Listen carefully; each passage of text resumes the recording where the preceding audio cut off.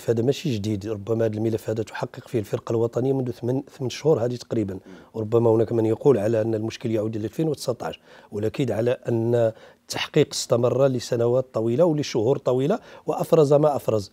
واليوم تيام اللي سقطوا هذه الرؤوس هذه أكيد على أن هناك مفاجآت قادمة في الطريق لأن ملي تكلمتي وقلتي تحدث هذا المالي وقال كذا وكذا على انه هناك شبكة مترابطة متشابكة متعاونة عابرة للقارات عابرة للحدود يختلط فيها السياسي بالرياضي بالجنس بالمال بالسلطة. هذه كلها كتعطينا واحد الخلاصة على أنه اليومتية اليومتية مغرب جديد وطن جديد مساءلة جديدة. نحن في مرحلة جديدة وكلها اللي في راسه العجينة يتحمل مسؤوليته واللي في كرشه العجينة يتحمل مسؤوليته.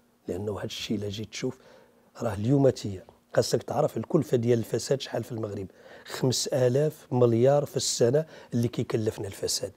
شوف هاد 5000 مليار في السنة اللي كيكلفنا الفساد لو تمت محاربته ولو تم ربط المسؤولية بالمحاسبة ما كانت تهدر كل هذه الأموال. وهذا غير رقم أعطيته لك صغير جدا. وهناك أرقام كثيرة جدا مخيفة لا في معدل التنمية ولا في غيرها ولا في غيرها.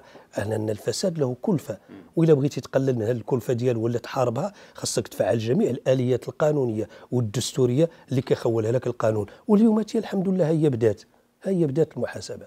هذا شيء جميل يجعلنا نطمئن ولا يجعلنا أيضا نقول على أن هذه غير حملة.